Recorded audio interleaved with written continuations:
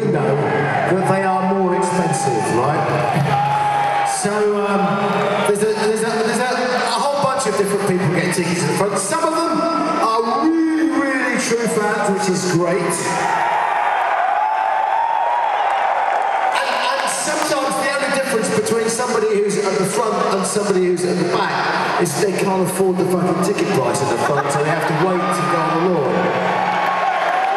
Which is kind